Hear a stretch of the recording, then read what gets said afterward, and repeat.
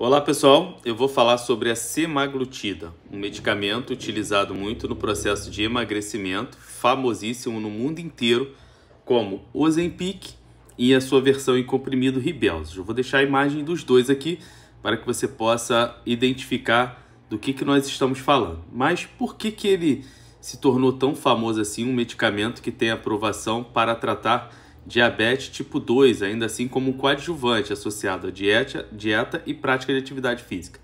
Eu separei aqui e fiz algumas anotações de primeiro a gente entender o que é, como age esse medicamento. Ele é um análogo GLP-1. O que é um GLP-1, tá? Ele é um agonista receptor desse hormônio, na verdade, tá?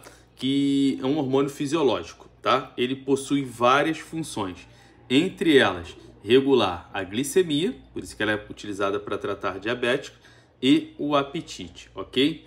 A sua ação na glicemia, ela acontece por quê?